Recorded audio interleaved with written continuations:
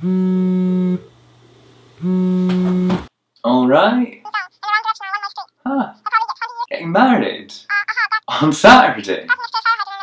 Uh, yeah, no worries, I'll, I'll photograph your wedding.